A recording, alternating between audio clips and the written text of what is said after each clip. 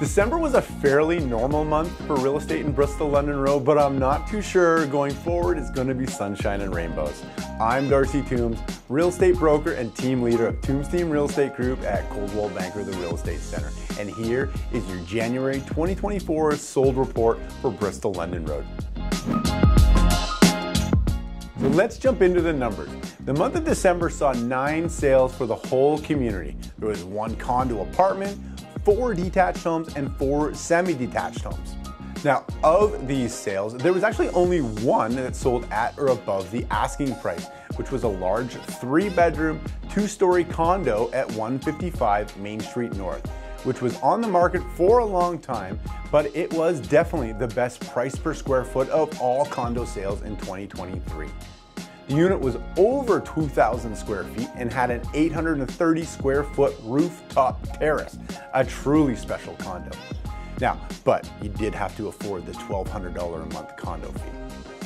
Now, let's have a little bit of a look at the sale prices for the month. The four detached homes that sold ranged in price from $985,000 for a three bed, three bath home on the west end of London Road to $1,250,000 for a beautifully renovated home on Yorkshire Drive, which interestingly, the sellers had only lived in since April 2021. The four semi-detached home sales ranged in price from $650,000 for a fixer-upper on Longford to $820,000 for a renovated bungalow with what appeared to be a non-registered basement apartment. It's not that unusual to see non-registered basement apartments in the area though. I would say probably the majority of the homes with apartments don't have registered apartments, but you know, that's a different story. And fun fact, if you want to know if a house has a legal basement apartment on it, just look for the house number. There'll be a little black triangle that has a little N on it. That'll give you an idea on if that home has a legal basement apartment or not. Now, interesting points to discuss in the month. Really, to be honest, there wasn't a whole lot to discuss about sales that were reported in the month of December. There were three listings that were terminated from the market, but I fully expect to see those listed again shortly especially at the time of this filming, there was only 12 homes for sale in the whole area. Two being condos at 155 Main Street North, both two bed, two bath units. There's six detached homes ranging in price from 888,000 for an older renovated bungalow on Vincent Street to two homes that are each listed for a million three fifty. One of those is a vacant renovated home on Erin Trail, and there's another one that's a tenanted home on Cardinal Crescent. This home on Cardinal Crescent, it's been listed for 48 days and still does not have any photos posted of it. Now that surprised me because I know the previous owner was a very talented local designer and she sold it in the spring of 2021 off market and I know that house was a stunner. So what's next? Where will the real estate market go in 2024? I get asked, how's the market all the time? It's a big reason for me in creating our monthly market report. is to help spread the word about what is actually happening out there. Now, I don't have a crystal ball, but I do have my ear to the ground listening to a lot of industry experts and regional economists. And well, I'll tell you, the picture isn't overly rosy in the coming months.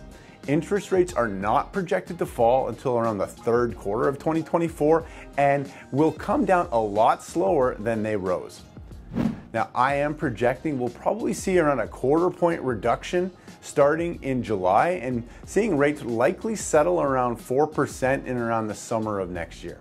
Now, which is regarded by many in the mortgage business to be considered around the sweet spot. The Bank of Canada has their first interest rate announcement on January 24th, but I'm fully expecting to see them hold the rate for this month.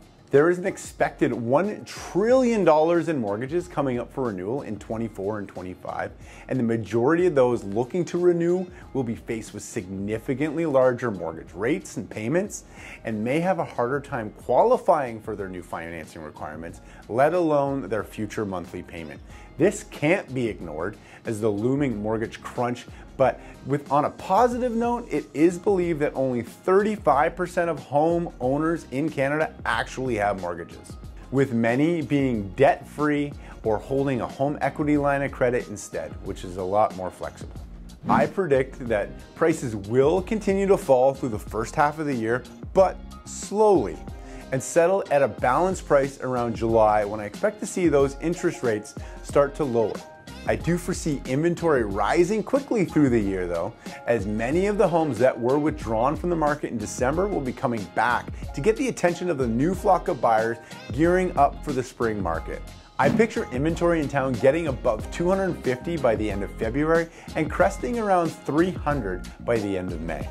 Now this is a level of inventory that we have not seen in town since the summer of 2019, but I would consider it to be a fairly healthy amount of homes that should help balance out the supply and demand curve for where prices will settle. Now I don't say this to scare you, I tell you this to inform you. There are some agents that only want to paint pictures of sunshine and rainbows, but burying your head in the sand is no way to address the current market.